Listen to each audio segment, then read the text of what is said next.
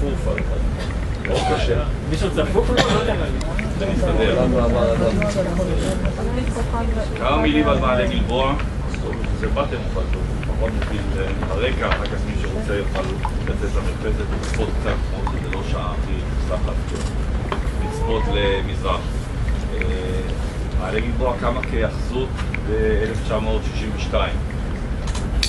החם הגדול היה עוד קצת צעיר בשביל לדעת למה, אבל בסוף שנות ה-50 כלא שטה, שנמצא כאן אה, מתחתנו, אכלס אז מה שקראו פרדיון, ופשוט יום אחד הם החליטו שנמאס להם, קמו 30 חבר'ה, בדרך הרגו גם אה, שני סוהרים, והלכו לג'נין. עד אז הגלבוע היה שטח אומנם רשמית בתחומי מדינת ישראל, אבל אף יהודי לא העז אה, להתקרב לכאן, כאילו היה בשליטה מוחלטת אה, של הערבים, ואז החליטו כחלק ממערך פה אה, של כל האזור, שאם לא נסתובב פה אז לא יהיה שלנו. בקיצור, והקימו את מעלה גלבוע, אה, מעמי מולנו ליד אום אל-פחם, בין אום אל-פחם ליעבד, מה שנקרא, מהצד השני של אה, ג'נין. אה, בהמשך אה, צור נתן ומבוא מודיעין אה, ירושלים. 67 מלחמת ששת הימים, הגבול ברח, ב-68 הוזרחה ההיאחזות במעלה גלבוע, והיה כאן קיבוץ עד שנת 74. שנת 74, סוף שנת 74, מה שהיום לא, בכלל לא יעלה על הדעת, היה פה טרנספר. כלומר, באה תנועת הקיבוץ הדתי, שמעלה גלבוע היה חלק אה, ממנה, ואמרה לחברים, נחמד אה, מאוד שאתם פה, חלוציות, אבל לא הצלחתם להגיע לתוצאות המצופות, לא מבחינת היקף האוכלוסייה, לא מבחינת המצב הכלכלי. כנראה שאתם אה, לא מסוגלים להרים את הנטל הזה. יש פה שיירת משאיות, כל אחד יבחר לאן הוא רוצה לעבור, ומתחילים אה, מחדש. רובם דרך אגב נשארו בהתיישבות, עברו לקיבוצים אחרים, ובעצם בסוף 74 התחילו אה, מחדש את הקמת מעלה גלבוע,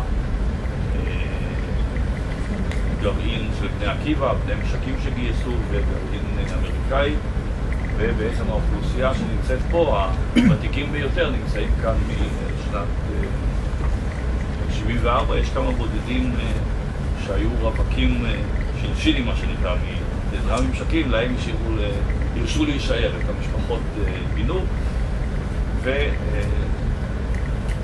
אנחנו פה. מעלה גלבוע היום אה, מונה 140, כ-140 משפחות. בנוסף אה, לקיבוץ יש כאן מוסד שנקרא ישיבת הקיבוץ הדתי, זה חלק מהמוסדות של הקיבוץ הדתי. אה, זאת לא ישיבה כמו שבדרך כלל אנשים מדמיינים, זאת לא ישיבת הסדר, הם מקפידים להדגיש, היא ישיבה שמשרתים בשירות צבאי אה, מלא. וכשמשרתים, לא משרתים במה שנקרא בין אה, ישיבות, אלא מפוזרים אה, בכלל צה"ל.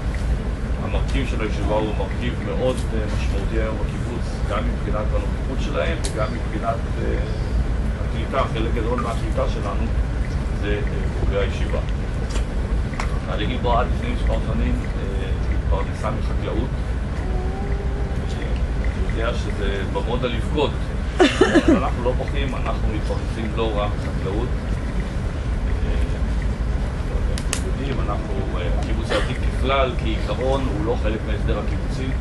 אנחנו לא הסכמנו להיכנס למערכת הזאת מסיבות אידיאולוגיות. אמרנו שאם יש לנו חברות, אז נסתדר איתם, נחזיר אותם לבד בלי, בלי סיוע. ומעלה גלבוע היום, ברוך השם, מוסד כלכלי. איזו עשיר השמח בחלקו, אבל יש לנו חלק, אה, יש לנו על מה לשמוח מעבר לחלק שלנו. אה, אנרגיות נקיות. מעלה גלבוע התחילה להתעסק בנושא אנרגיות נקיות אה, לפני הרבה שנים. הטורבינה הראשונה הוקמה במעלה גלבוע בשנת 86. במדינת ישראל לא הייתה הסדרה, לא היה שום דבר פשוט. בנינו טורבינה, קיבלנו סיוע מאז, מה שקראו משרד התעשייה והמסחר. והתחברנו לרשת, לא, לא ידעו כל מיני פטנטים, רשת חלוקה, רשת הולכה. הייתה טורבינה ניסיונית, היא שרדה כמה שנים. לנו היה ברור, מי שהסתובב פה בחורף, או מי שיכול למעלה לקבוע, היום רואים עצים, פעם לא היו עצים, כשהיו רואים אותם אז היו באלכסון. היה לנו ברור שאם אנחנו סובלים מהרוחות, אולי גם אפשר לעשות מזה משהו אה, מועיל. ואנחנו התעסקנו בזה הרבה מאוד אה, שנים. בשנת 92' התקשרו אלינו בחברת חשמל. יש פה דרך אגב נציג חברת חשמל, כל מה שאני אגיד לא נכון יכול אה, להעיד. התקשרו אלינו בחברת חשמל, תשמעו, יש לנו טורבינה על הים, צריכה להגיע לרכס יודפת. הם לא מוכנים אה, לשים את הטורבינה הזאת כי לקלקל להם את הנוף. מה, יש לנו איזה רעיון? תביאו לפה. דרך אגב, ביודפת, לא יודע אם חצי שנה אחרי זה או שנה אחרי זה, שמו מוביל 400 קילוואט. פישט להם את הנוף, אז אני כבר טוען, יש הרבה טענות, הוא כן טוב, לא טוב, אין לי ספק שזה חסם בפני כל מיני תקלות מהסוג הזה. במקום שיש טורבינות, אחר כך לא... אין רעיונות אחרים. בכל אופן, אנחנו למרות מקובל, וזו אחר כך יציג לכם כמה שנים לקח פה המערכת, לקחה למערכת לבנות את העסק, אנחנו תוך חודש וחצי הבאנו יותר בנייה לתוכניות רוח. היום זה כבר לא עובד, אנחנו פשוט באנו וביקשנו אישור לשים גנרטור ליד הלול. אמרו, מה הבעיה? תציבו. אמרנו, רוצים לשים את הלמוד 40 מטר. בדקו בספרים, אמרו, לא כתוב שאסור, תביאו אישור של תעופה אזרחית ותציבו. קיבלנו אישור, המהנדסת המועצה שנתנה את האישור שבועיים אחרי זה נסעה ללמוד בחוץ לארץ, מי שיצעק עליה, כל הארץ געשה ורעשה והייתה טורבינה. אחרי זה היה לנו איזשהו רומן ארוך עם חברת דלק, שקנה פה חברת טורבינות. בסוף הם החליטו שיותר כלכלי לייבא את מזדה, וירדו מהפרויקט, ואנחנו התחלנו לעבוד מול חברת חשמל. אם אני זוכר נכון, בתחילת שנות האלפיים התחילו בהליכי הרישוי. תכף נראה. כן. בכל אופן, אני מדלג על הקטע הזה. מה שקורה היום, שיש לנו פה חוות טורבינות של 14 טורבינות, כל אחת של 850 קילוואט. יש חווה תואמת ברמת סירין של עוד 11 טורבינות. אלה טורבינות שהגיעו הישר ממחסני הגרוטאות של אירופה. באירופה אין כבר טורבינות, או יש טורבינות עובדות, אבל לא מייצרים טורבינות חדשות מהקווים האלה, מכיוון שאלו טורבינות מיושנות, היום הטורבינות המקובלות בעולם הן מייצרות בין שלושה מגה, שלושה וחצי מגה, טורבינות של קצה כנף 180 מטר, אנחנו שומעים פה על קצה כנף של 74 מטר. הסיבה היחידה בעצם שהליכי התכנון במדינת ישראל לוקחים כך שנים. כשאנחנו התחלנו את ההליכים, הטורבינות היו 30-40 מטר, היום הטורבינות, כמו שאמרתי, 120 מטר, זה כנף 180 מטר, אבל לפני שנתיים שרצינו, אמרנו בואו נעשה איזה הליך מזורז, להחליף את הטורבינות, אתם רוצים, תתחילו מאפס. למדנו כבר את הלקח, לא מתחילים מאפס, ולכן יש כאן בעצם טורבינות שהן מדור קודם. מעלה גלבוע מתעסקת לא רק בטורבינות רוח, גם בפוטו-וולטאי. יש לנו מערכות לא מעטות של פוטו-וולטאי על גגות. אנחנו היום, פוטו-וולטאי זה ייצור אנרגיה בעזרת השמש. בגדול יש שתי טכנולוגיות שמייצרים בעזרת השמש, אחת פוטו-וולטאית זה לוחות שקולטים את הקרינה ומייצרים חשמל. מחיר היום ייצור ייצור, עלות ייצור קילוואט חשמל במדינת ישראל, קילוואט חשמל, רק הייצור, זה סדר גודל של 27 אגורות.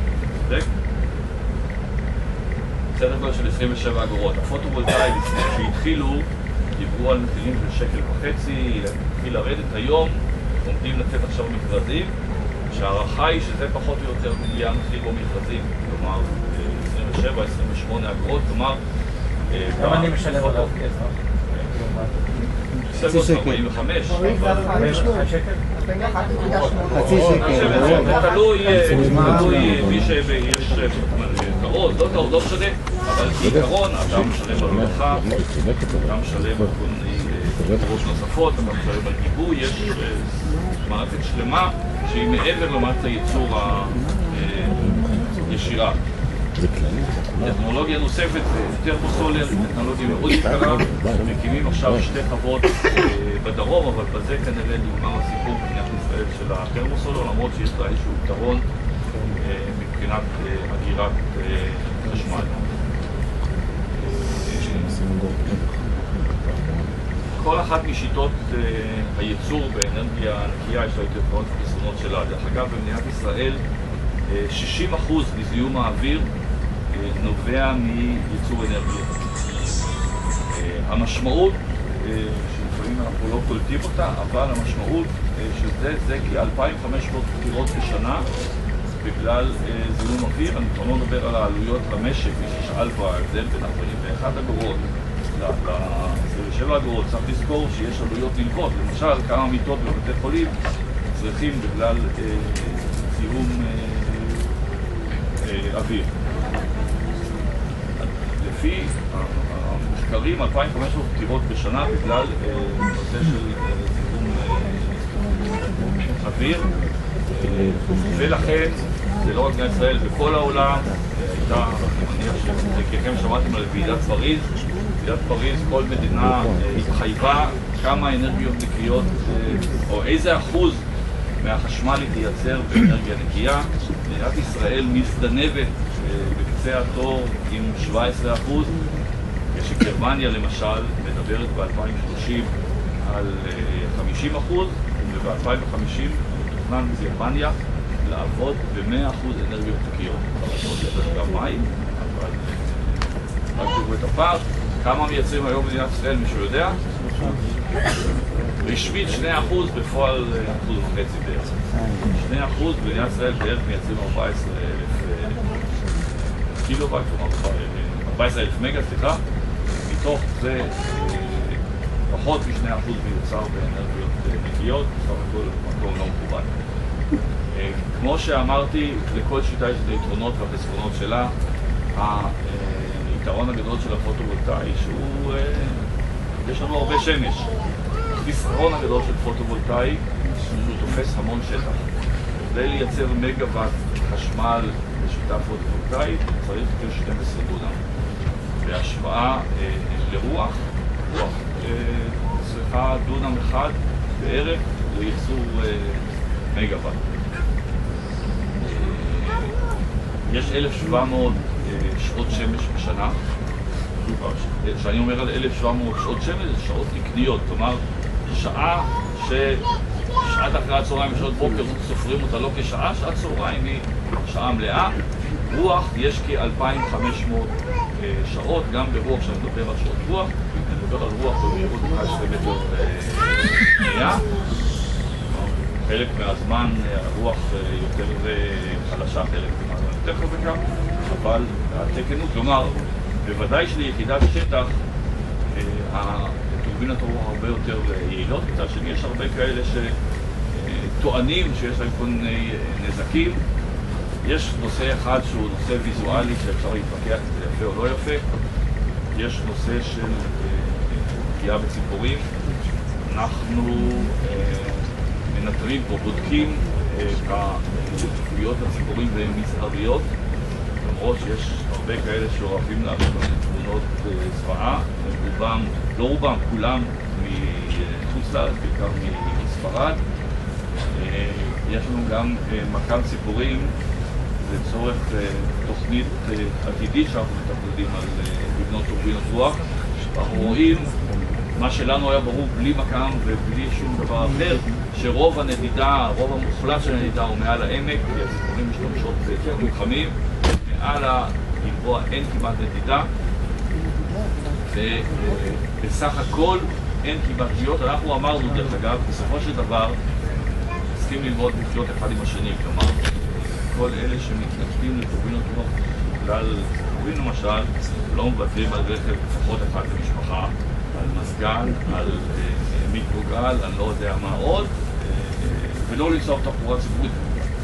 אה, אבל אומרים, אה, צריך אה, לשמור, אה, לשמור על הטבע, אז אה, איזונים. אנחנו התחייבנו שבמידה שתהיה פגיעה משמעותית בעונת הנדידה אה, בציפורים, נשבית בתקופה הזאת. עברנו כבר שתי עונות נדידה פה, אין פגיעה, אני אגיד לכם בסוד, יש לנו טורבינה אחת בתוך הרפת, והפתנים בנו על זה שכמה יונים לא. לא עובד, לא עובד, לא מפריע. יש נושא של אה, צוד, שדרך אגב, יש החלטה של המשרד לאיכות הסביבה לבטל את הפליטות ויצוד כי השתכנעו שזה לא מפריע, ויצוד זה הצל שבשעות מסוימות מטייל על הקרקע. יש נושא של תת רעש, מה שנקרא, שזה גם נושא שהוחלט להפסיק את הבדיקות שלו, כי הגיעו למסקנה. קיצור, מי מה הבעיה שרוצה של סיבות... הריצוד? מה? מה הבעיה של הריצוד? יש אנשים. שהשמש אה, עומדת מאחורי הטורבינות, אתה רואה על הקרקע סיבוב כזה של צל, שיש אנשים שזה עושה, טוענים שזה עושה להם סחרחורת. ויש החלטת מדינת ישראל שטורבינות שהן במרחק של יותר מ-500 מטר ממקורים, לא בודקים את זה יותר. דרך אגב, במעלה גלבוע הטורבינות הן במרחק 400 מטר מבתי המגורים, ובגדול אין, אין אה, בעיות, ההרחבה הזאת עובדת כשמונה חודשים. תת רעש יש רעשים שהאוזן של הבן אדם לא שומעת, אבל הם אה, מפריעים. אה, שוב פעם, גם זה התברר נכון, קרינה דרך אגב בוודאי שלא, מי שאיתרע מזלו והוא גר ליד שנה עם תקופת חשמל, הקרינה שלו הרבה יותר משמעותית מקרינה מטורבינות. אה, זה לגבי אנרגיות נקיות, אם יש שאלות, אה, בבקשה. אה, מה הנצילות של הפוטו-וולטאי?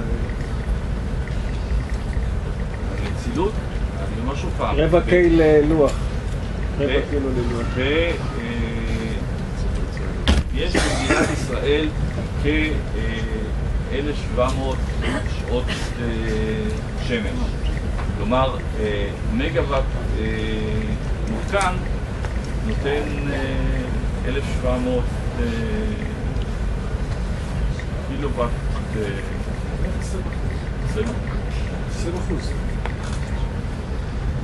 אה, עוד מילה אחת לסיכום האנרגיות נקיות, כשנעבור לפרק הבא בחוץ, פשוט בחוץ שמש אז זה פחות סימפטי, יש לאנרגיות נקיות מקרעת משותפת לכולן, שהן לא יציבות.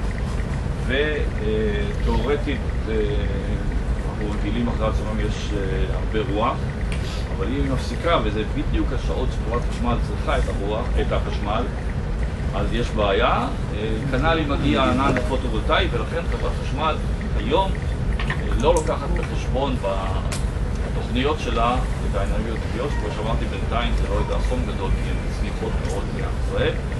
ולצורך הנושא הזה אה, אנחנו נעבור אחר כך לפרק שנקרא אה, הגירה שהובא, שצריכה בין היתר לפתור את הנושא הזה, אבל אה, בואו, אני מציע שזוהר ייתן כמה מילים בניסיונו, אה, זוהר היה שותף פה פחות או יותר מהיום הראשון לפרויקט הזה.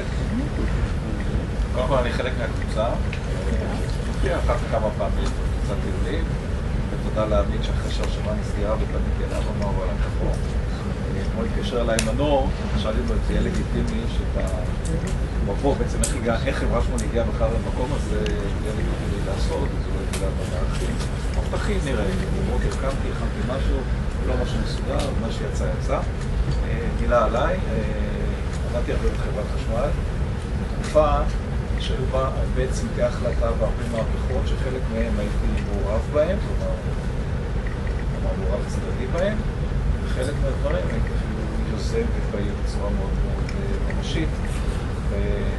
בזה שהייתי מנהל הנכסים, המנהל הסטטוטורי תכנוני והמנהל הסביבה של חברת חשמל, וכל הפרויקטים בשלב של היזום, משלב היזום, מהשלב שהוא יוצא משולחן המחשב העקרוני, עד השלב שהוא מגיע לתכנון הנדסי ולביצוע, שזה כבר לא הקטע ששייך אליי. כיוון שהיה לי פה הרבה פעילות, אז שאלתי, ובבוקר הבנתי גם גם מאבי, אה, שזה מצוין, אז אני מרגיש תקשיבו לי. חברת חשמל מאוד בקיאה, והחלטנו להשתחרר בקווי חשמל, תחנות כוח, תחנות משנה, תחנות ניתוב, ואיפשהו התחילה בשנות ה-80, סליחה? אני אגביר, אגביר. ואיפשהו בשנות ה-80, דרך אה, משוגע לדבר בכיוון החיובי החברה, דוקטור אלי בן דב, אה, שהיום הוא כבר לא עובד חברה, והוא חלק מהיזמות של הפרויקט כאן. התחלנו לחשוב על איך בעצם ניגשים לפרויקט אה, תכנון הרוח, אבל הייתה יותר מחשבה פרטית של, או מחשבה אישית של אלי בן דב. ואז מה עשיתי? קודם כל צריך לדעת אם יש רוח. איך יודעים אם יש רוח? אז מסיירים, איפה שרואים סתם באיזה גבעה, עץ אורן או עץ ראש, מין עקמומית כזאת, אתה אומר, וואלה, מקום פוטנציאלי. אז אתה מתחיל בצורה מאוד ליימנית, מאוד מפגרת כזאת, כדי לראות פוטנציאל ראשוני. אתה הולך לאטלס הרוחות שקיים, יש במדינת ישראל אטלס רוחות. הוא לא נותן לך מידע נקודתי, הוא לא נותן לך מידע לחתך מגובה 0 לגובה סתם 100 מטר, והפחת הרוח היא צריכה להיות בגובה מסוים של הטורבינות, לא בגובה פני הקרקע. הוא לא נותן לך מידע, והוא לא מפלג לך את זה בשעות, כלומר אם יש לך רוח בלילה, אתה צריך את החשמל, אז החשמל מוזול, אז זה לא כדאי שאתה הרוח בשעות אחרי הצהריים, בשעות שאתה צריך, בשעות הפיק, אז זה טוב, אז הוא לא נותן לך את הדבר הזה. ובסקרים, אחרי הפעילות הזאת של עצים שוכבים, השקנו עשרות אתרים בארץ עם עמודים, עם עמודי חשמל ישנים, עמודי עץ ישנים, גובה עשרה מטר, גובה כדי שלא נצטרך להסתבך עם רישויים של רשות התעופה והיתרי בנייה, ושמנו עמודים, והתחלנו לראות מה קורה שם באזורים שונים, ובעיקר במקומות הגבוהים. אותם מקומות שחשבנו שנראו פוטנציאליים, כאן נכנסנו כבר למערכת התכנונית עם עמודי מדידת רוח גבוהים, ואז אתה לוקח לך את הגובה של, של הלהבים של הטורבינה, ואתה עושה עמוד, עמוד, עמוד מדידת רוח, ואתה עושה לך כמה נקודות בחתך מגובה סתם 60 לגובה 0, כדי לראות מה הרוח, ואז כבר מערכת המחשוב הייתה כבר התחילה לעבוד. והקמנו עמודי מדידת רוח, ובשנות ה-90 הטורבינה הניסיונית, היו שתי טורבינות ניסיוניות במעלה גלבוע. הראשונה שדיבר עליה דוגי בשנות ה-80, והשנייה שלנו, שהייתה באמצע שנות ה-90, אוקיי, יש לך כבר מידע רוח ואתה רוצה עכשיו אם זה עובד על הציוד, אם הציוד מתפקד בהתאם. אתה רוצה, אין לך ניסיון לחברת חשמל בכלל איך טורבינה עובדת, יש לך ניסיון השנאי בתחנות כוח, בטורבינות חשמל אחרות, אבל לא טורבינות רוח, אתה רוצה לרכוש ניסיון. אז הקמנו כאן בקיבוץ טורבינה לא רחוק מכאן טורבינה ניסיונית, עם היתרים שבאמת השיתוף הפעולה של קיבוץ מעלה גלבוע ודרכם של המועצה האזורית והוועדה המקומית היה יוצא מן הכלל, כלומר, בזכותם גם הוועדה המקומית וגם המועצה האזורית תקדף, והקמנו את הטורבינה. במקום אחר, אתם רואים את השבועה השלישית, עשינו, לא אגיד ניסיון, אמרנו, בואו נקדם תוכנית מתאר לטורבינות רוח כבר מסחריות, כלומר צברנו ניסיון במדידת רוח, צברנו ניסיון בטורבינה ניסיונית. בואו ניקח את רכס יודפת. רכס יודפת זה מהיישוב יודפת לכיוון הררית ואבטליון, אם אתם מכירים את הרכס הזה, רכס שחולש על ערבה ועל סכנין, והוא מצפון לבקעת בית נטופה. פתחנו בהליך תכנוני, תזכיר השפעה על הסביבה, הייתה התנגדות חזקה מאוד, שם לא היה יישוב שהוא בעצם, אתה נמצא בתחום הטריטוריה שלו, והייתה התנגדות של תושבים על רקע אמירה, הטורבינות יגמדו את הרכס הצר, הרכס של רכס יודפת הוא רכס מאוד צר, הטורבינות יגמדו את הרכס הצר, אחרי כמה שנים של הפגנות, ויכוחים, סיורים, הוועדה המחוזית ברוב של שניים מול אחד, מה לעשות, זה לפעמים המקום של הוועדה המחוזית. הת- התוכנית אחרי שהופקדה, בשלב ההתנגדויות אה, נפסלה. ובשנת 2000, דוביק אה, אמר תחילת 2000, זה נכון, ב-2000 החלטנו להתמקד בחוות מסחריות, אה, שתיים, ברמת צירין ומעלה גלבוע, שתיהן אה, פועלות. סליחה, אלה שבזיוון זה לא שלכם? לא, שלכם? אין זיוון זה של חברה פרטית, חברה מקומית, זה אזורית, זה אבל לא חשמל? לא שייך בכלל לחברת חשמל, הם מפיקים חשמל, הטורבינות שנמצאות, לא הטורבינות שנמצאות אה, שייכות למי גולן, אה, הם, אה, היה גלגולים שונים אה, ליזמות שם, הם מפיקים חשמל, מחברים את זה לרשת של חברת חשמל ומקבלים מחברת חשמל את התעריף בגין המכירה, כאשר רשות החשמל נותנת פרמיה לחשמל נקי, כלומר נותנת תעריף אקסטרה, תעריף גבוה יותר ליזם, אם הוא מייצר חשמל נקי, זה עובר דרך הרשת שלנו, ולכן הם לא, הם לא עושים מכירה מקומית, אלא דרך חברת חשמל. אבל הפרויקט כולו שייך לגוף שאינו חברת חשמל. ב-2000 אנחנו מחליטים להתמקד... הזאת פה היא של חברת חשמל? החווה פה היא של חברת חשמל? לא, אני- זה ה- זה השבועה האחרונה שלו. אה, איפה זה- רמת צירים? גם צפונה. אני. נראה את זה מהצד עצמי. אני מסביר את הרקע, איך זה נוסד, וזה היום לא חברת חשמל, אה, זה, אה, יזם פרטי שדרך החלטות של רשות מקרקעי ישראל מחייב אה, לפטור ממכרז שותפות עם יישוב, עם מושב, עם קיבוץ. זה יזם פרטי ומעלה גלבוע, חברת חשמל אין לה יד ברגל בפרויקט הזה, אני בא לספר איך הפרויקט נוצר. איפה זה רמת צירים? אנחנו נראה את זה מהתצפית. אה, אתם מכירים את כוכב הירדן? נראה את זה, נראה את זה בהמשך. כוכב אל עווה, כוכב הירדן, משם רכס אחד צפונה, מנחמיה, אנחנו נראה את זה, נראה את זה עוד מעט. זה רמת צירים. יבניאל, דרומית ליבניאל, או מערבית ליבניאל, תלוי איך מסתכלים ברמת צירים. אה, עכשיו, אנחנו, אנחנו בחברת חשמל היינו בקיאים בדברים רגילים. אה, סתם לדוגמה, אני שואל את זה, מישהו יודע איפה זה? לא? יפה, הייתם, הייתם, לכן שמנו. אז אנחנו בקי- בקיאים, עושים טוב או לא טוב, לא משנה, אבל לפחות מנוסים אה, תל צפית, אז תל צפית, תסתכל על התל נורא יפה, נכון? אבל אם עכשיו מסובבים את המצלמה, אז רואים... אה, חגית. חגית. לא חגית, אז אה. רואים קווי חשמל ותחנת כוח ותחנת ניטור. אז רואים, אני חוזר לתמונה הקודמת, מדבר יפה לדבר לא יפה. אה, אני אמשיך הלאה. איכות אוויר, מה שדיבר דוביק על בריאות הציבור, זה תמונה מהפגנה כנגד פרויקט של חברת חשמל שנדון באותה ישיבה במועצה הארצית לתכנון ובנייה. אז זאת הפגנה של אנשים שהולכים עם מסכות של מלאך המוות. אה, על נושא בריאות הציבור, מה שבשנות ה-90, שנות ה-80, שנות ה-70, היה על השולחן, אבל פחות שיחק משחק בהחלטות, החלט, שיחק משחק ממשי בהחלטות, הפך להיות גורם גם הקבילות וגם, גם אם אני לא אוכיח שיש נזק, אבל אני מרגיש לא טוב ואני טוען, אז גם עמדת הציבור, גם אם היא לא נכונה, היא נשמעת היום הרבה יותר מאשר נשמעה בעבר. הייתה לנו התמודדות שנים עם נושא של תפיסת שטחי חוף. אה, אז זו תמונה אה, תלוית מקום מתחנת כוח רדינג. אני אישית טיפלתי באיתור אתר רוטנברג, ברישוי שלו, ברכישת הקרקעות.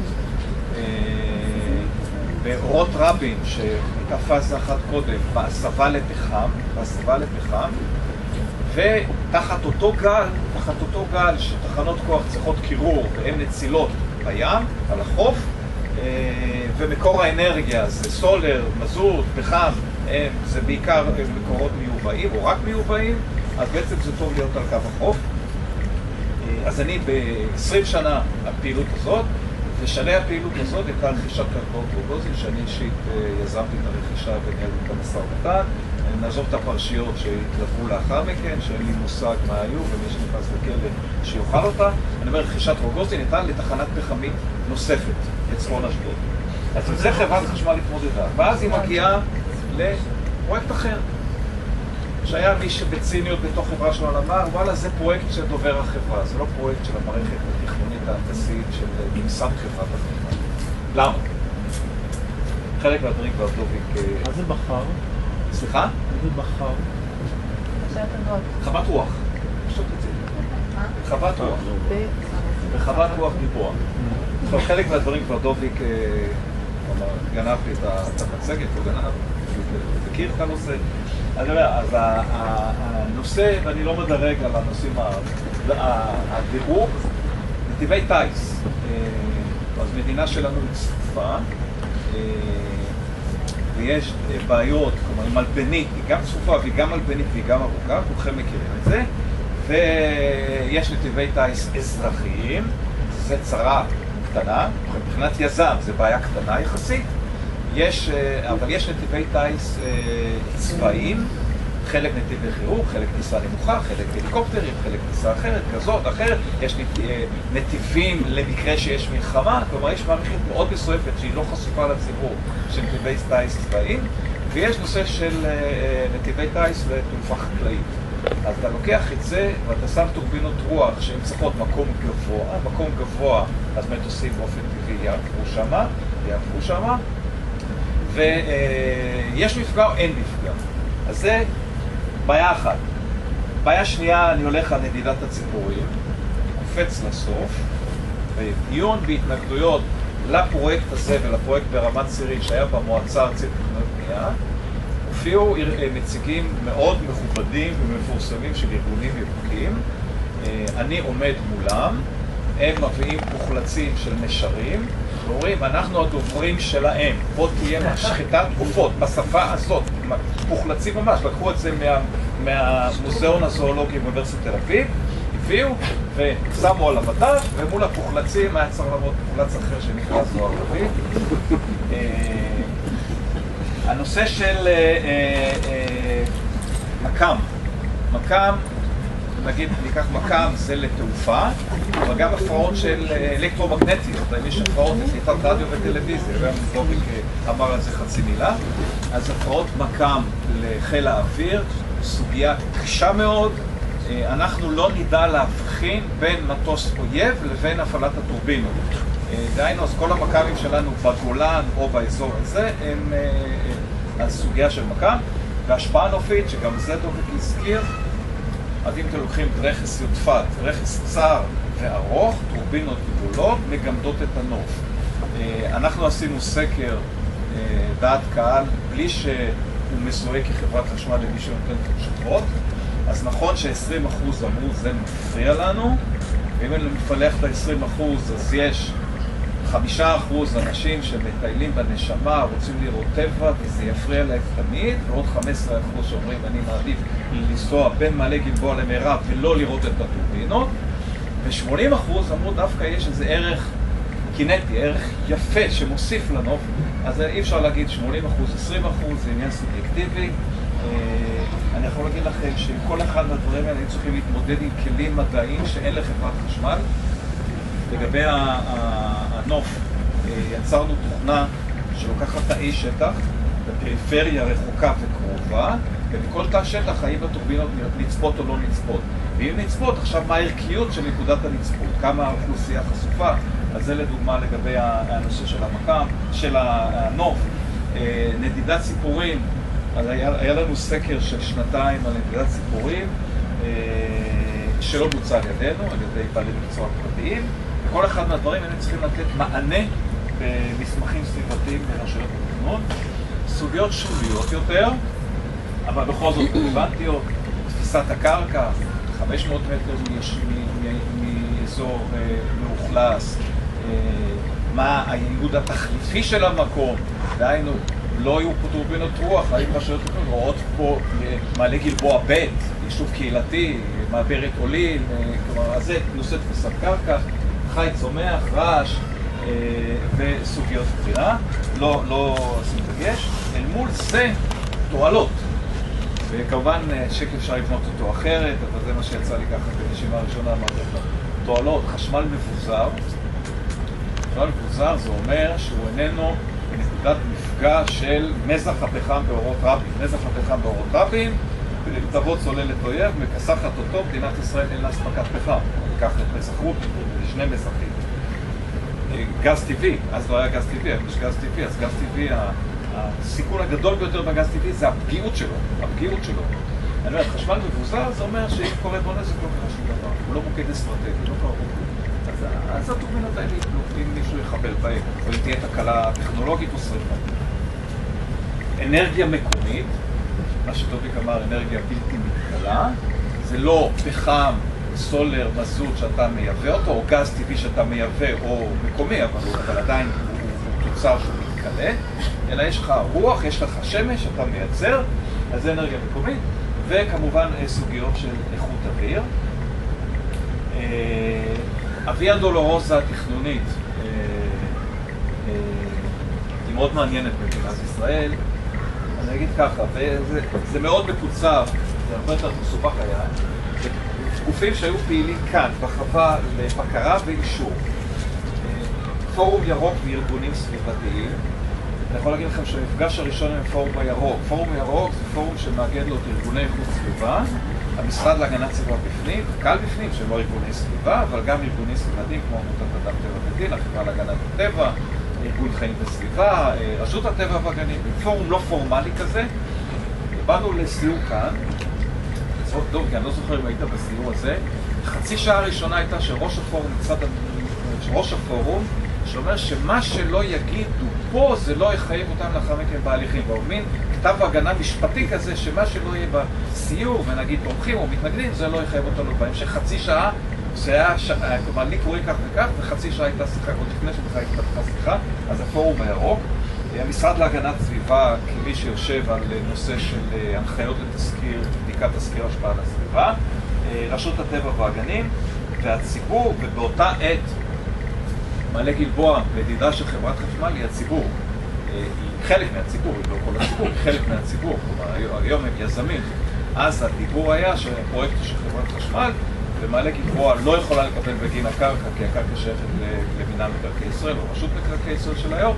הדיבור היה על מתן שירותים, תחזוקה, ברמה כללית. לא, לא, לא הגענו בכלל לשלבים של קונקרטיזציה ל- למעלה גלבוע, והיה ברור שמעלה גלבוע בגין הפרויקט הזה תקבל לא כסף שיכולה לעבור דרך מינהל מקרקעי ישראל, כי זה כלום, אלא דברים שקשורים בתחזוקה ובדברים מסוג זה. אה, גופים נוספים, בעלי הזכויות בקרקע, במקרה פה היה לנו גם את רשות מקרקעי ישראל וגם את אה, מעלה גלבוע, אבל זה לא בהכרח מחובר. אם אני הולך על רמת סירין, שם היו חמישה יישובים, אז אה, תלוי איך אתה מגיע. אה, כאן התמזל מזלנו, וזה יישוב אחד, ויישוב אה, חברותי, יישוב תומך. מועצה אזורית עמק המעיינות, אז הייתה עמק בית שאן. אני זוכר שני מפגשים שהיו לי גם כשיגאל שחר היה ראש המועצה, וגם אחרי כן שלטיאלי, וכשהאינטרוול של פגישה היה מעכשיו לעכשיו דרך בעלי גלבוע, אה, אתה רוצה לתאם מה אתם רוצים ממני, מה אני רוצה, הם לא הכירו את הפרויקט הזה, אז אה, אה, מועצה עמק המעיינות, זה גם ראש המועצה, גם מהנדסת המועצה שהייתה אז, וגופי אה, תעופה, שזה כבר התייחסתי. אה, גופים נוספים שהם יותר רגולט, רגולטורים ברמה העקרונית, רשות החשמל, שתכף אני אראה אה, איפה היא, איפה היא שיחקה בפרויקט הזה לנקודת היציאה של חברת חשמל. רשות החשמל היא רשות מפקחת, היא רשות תקציבית, היא מפקחת לקבועת כללים של משק החשמל, היא לא שייכת לחברת חשמל. אה, אז רשות החשמל, מינהל החשמל, נשים אותו רגע בצד, מוסדות התכנון והבנייה. אה, הדילמה, סתם, אתה בא למקום כזה, מה בעצם תוכנית מתאר עושה? הקרקע היא, נשארה, היא נשארת חקלאית. אז מה היא עושה? היא מקימה תחנת כוח, אבל זה לא בדיוק תחנת כוח. הקרקע נשארת חקלאית. זה איך אתה קובע תוכנית מתאר ואתה קובע ציר טורבינות, אבל אתה לא יודע איזה טורבינות תהיינה. אז איך אתה עושה את המרווחים? אתה חייב לעשות מיקום נק- נקודתי. פתרנו את זה בדרך של מרחב להקמת הטורבינות, עם הכפפה של היתר בנייה בהליך נוסף של תוכנית בינוי באישור ועדה מחוזית, שזה אחרי שכבר יודעים יותר קונקרטיזציה של המיקום הנקודתי, ואז למעשה תוכנית המתאר קבעה פס, שאומרת בפס הזה יש תכלית נוספת לקרקע חקלאית, זה תוכניות רוח, לא מעבר לזה. אה, אז זה, עובר תוכנית מקומית, ות"ל, מחוזית, ארצית, דילמה שהייתה. אה, רשות מקרקעי ישראל, התייחסתי אליהם. באמת, עכשיו כמה אבני דרך, ב-2000 נפלה החלטה אצלנו, אז הפתיחה, אתה נפגש עם ראש המועצה, עם ראשת המועצה, ראש המועצה, ראשת המועצה, היישוב, ואתה מתחיל לגשש מי נגד מי, פורום ירוק, עד שנופלת החלטה שההליך הוא יהיה הליך של תוכנית מתאר מחוזית. תוכנית מתאר מחוזית זה אומר שהמחוז הוא היוזם הפורמלי, המועצה הארצית היא הגורם המאשר. אה, אני אישית חתום על התוכנית שאושרה, כלומר מי שילך לזה, יראה את החתימות שלי כיוזם בפועל, כעורך התוכנית. אני אומר, אז הוחלט על הליך אה, מחוזי. אה, אה, ב-9-2001 ניתן רישיון פיתוח לחברת חשמל. עד, לאותה, עד לאותו מועד, או סמוך לאותו מועד, חברת חשמל הייתה בלעדית בשוק. עשתה, לא אגיד מה שרצתה, עשתה תוכניות פיתוח לעצמה, ולמעשה התקדמה עם עצמה. מנקודת זמן מסוימת שהתחילה ב-96, אבל התחזקה יותר מזה, אה, כמה שנים יותר מאוחר. כל פרויקט צריך ללכת כמו מים. נציב המים נותן למקורות זה מקורות, נותן ליזם פרטי זה יזם פרטי. אז גם היום שר התשתיות יש לו סמכויות לתת פרויקט לחברת שמונה, לתת פרויקט ליזם אחרים. שר התשתיות זה היה אביגדור ליברמן. בשני לתשיעי 2001 נותן רישיון פיתוח לחברת חשמל ל-50 מגוואט סירים וגלבוע, והוא עשה את זה כמשקל נגד לאותו מועד ואותו יום שנתן לו רישיון פיתוח לתחנה פחמית באשקלון, שלימים כונתה פרויקט D, שקרסה. כלומר, נפלה דרך התנגדויות, דרך 17,000 התנגדויות סיפור של התחנה הזאת, זה חלק מההפגנה שראיתם. ניתן רישיון לפיתוח לחברת חשמל. במטחנה הסטטוטורית של תזכיר, בדיקות, כל זה, לקח לנו כמה שנים לעשות את זה, 2001-2005. התוכנית אושרה, אני לא זוכר, אני לא זוכר אם 2005 או 2004, לא בדקתי באינטרנט, ישבתי יכול להיות, חשבתי 2005, יכול להיות שזה 2004. וב-2006, חברת חשמל בצד שאני אישית אה, מאוד חלקתי עליו, ואני זוכר שבמחרת ההחלטה, זה היה ביום חמישי בערב, ישבתי את עובד שלי ואני, כתבנו מייל למנכ"ל החברה, זה היה אורי בן-נון. אה, לא יכול להיות שחברת חשמל לא תקדם את הפרויקט, ותתפס איך שתתפס בציבור, והסיבה שהחברה החליטה לתמוך בפרויקט הייתה, אה, היא רצתה פרמיה לתעריף כמו שיצרן פרטי מקבל. זה הגיוני שהחברה תבקש. אמרה רשות החשמל גם דבר הגיוני. כל עוד אתם בריכה כספית אחת, ואני לא יודעת לאן, מה הולך לאן, אני לא יכולה לתת לכם הכרה בתעריף. תבודדו חברת בת לאנרגיית רוח, אז נכיר לכם כתעריף. ועד עובדי חברת חשמל הסתייג מהקמת חברת בת, למעשה ככה הפרויקט הזה התאדה לו בחלל האוויר, ואני מאוד שמח שבנעליים שלנו נכנס יזם פרטי, אה, בוודאי עם קיבוץ מלא גבוה בפנים, ולראות את הפרויקט הזה קיים, אבל נחמץ ליבי שהוא לא שלנו, ולא של חברת חשמל. אה, זהו, אני סיימתי. תודה רבה, זוהר. אה, רגע, רגע, עוד. רגע. בהליך התכנוני היו כמה פשרות. אה, זה לא הליך סטרילי כזה, זה הליך של דיאלוגים. ארבע טורבינות רוח הכי כלכליות נמחקו. הם מעבר לכביש, מה שנקרא מדלול אבינדב. כלומר, אתם נוסעים בין מירב... אני אראה להם איפה זה מהתצפית, אנחנו נראה על זה. אוקיי? אז ארבע הטורבינות האלה שהופקדו, הם נמחקו.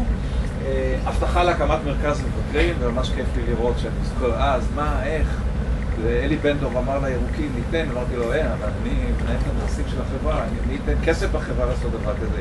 עכשיו תוכנית מתאר צריכה לסמן פינוי. אז שמנו איזה משבצת, גם כן עם כמה זכויות בנייה, אבל מין סעיפים מאוד ערטילאיים לתוכניות פינוי בעתיד, אז אני שמח שזה מומש. מנגנון סגירת טורבינות פיתות בלהקת ציפורים, אז אני שמח לשמוע מטוביק שהמנגנון הזה עובד. אז בתוכנית המתאר ישנה הוראה, שמא המשחטה אכן תהיה כזאת, אז בלהקות והתראות משפיטים את הטורבינות, אז יש מנגנון, ושמנו לא מעט כסף, אני מניח שגם היום היזם, אולי גם מעלה גלבוע, לא חושב ששמים כסף במשרד הביטחון, אז היה לשים הרבה כסף לרפאל לפיתוח אה, מחקר, האם באמת המקם המקם מושבת כתוצאה מהטורבינות. החיתוך לטובת הפרויקט בסופו דבר היה נושא איכות אוויר, ואם אני לוקח בתוך איכות אוויר, פחות נושא של המזהמים הרגילים, אלא נושא של גזי חממה. אנחנו נמצאים במקום טוב למעלה, מקום רע למעלה, כלומר חברת חשמל זה האדום. אירופה נמצאת כאן, זה נתונים של 2011, לא נתונים של היום, אני כבר היום לא עובד בחברת חשמל, אז אין לי את ההמשך.